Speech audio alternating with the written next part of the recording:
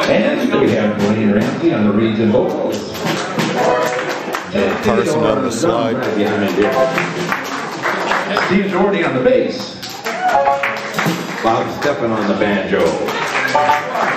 One and only Rich Owens on the keyboard. And I'm Chris Bradley, playing some Dixieland music for you tonight. We're going to go back to one uh, written by Nick LaRocca, 1918, called At the Jazz Band Ball.